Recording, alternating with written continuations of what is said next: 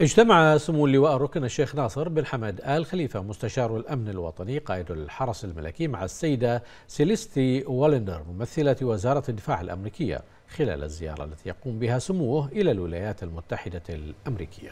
وأشاد سمو الشيخ ناصر بن حمد آل خليفة بعمق العلاقات الراسخة التي تربط بين مملكة البحرين والولايات المتحدة الأمريكية على مختلف الأصعدة في إطار ما يشهده البلدان من علاقات متميزة في كافة المجالات خاصة ما يتعلق منها بالتعاون العسكري والدفاعي.